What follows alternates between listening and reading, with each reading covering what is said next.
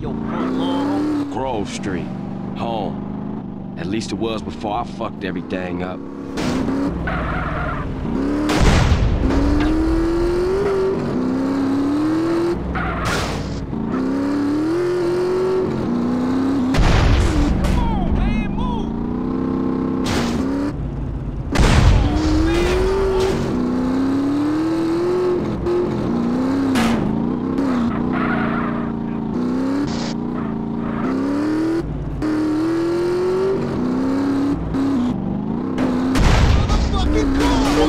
Motherfucking ass